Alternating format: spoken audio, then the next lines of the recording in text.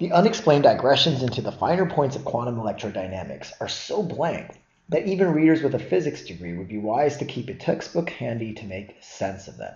So I read this and I say, okay, well, we have unexplained digressions. That's not fun. All of a sudden, for no reason, you're talking about something that's not really related, and maybe it's related, but the point is, it's not. It's very difficult.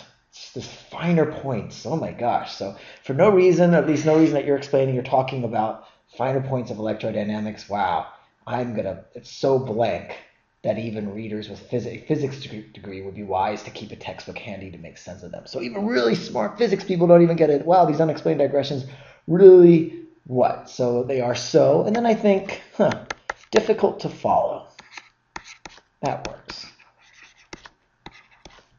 So difficult to follow.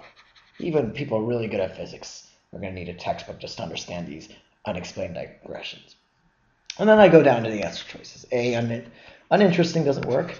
Controversial, it's negative, but we're going for something that's just hard to understand and it's going to leave a lot of people confused and upset.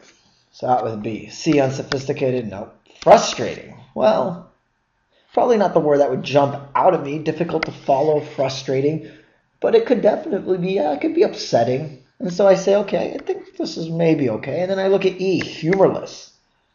Hmm, without any humor. Well, no, that we're going for something difficult to follow. It doesn't relate whatsoever. And so, though frustrating may not be the perfect word that jumps to mind, it definitely is the closest one, at least when you compare it to the others that don't make sense at all. And therefore, D is our answer.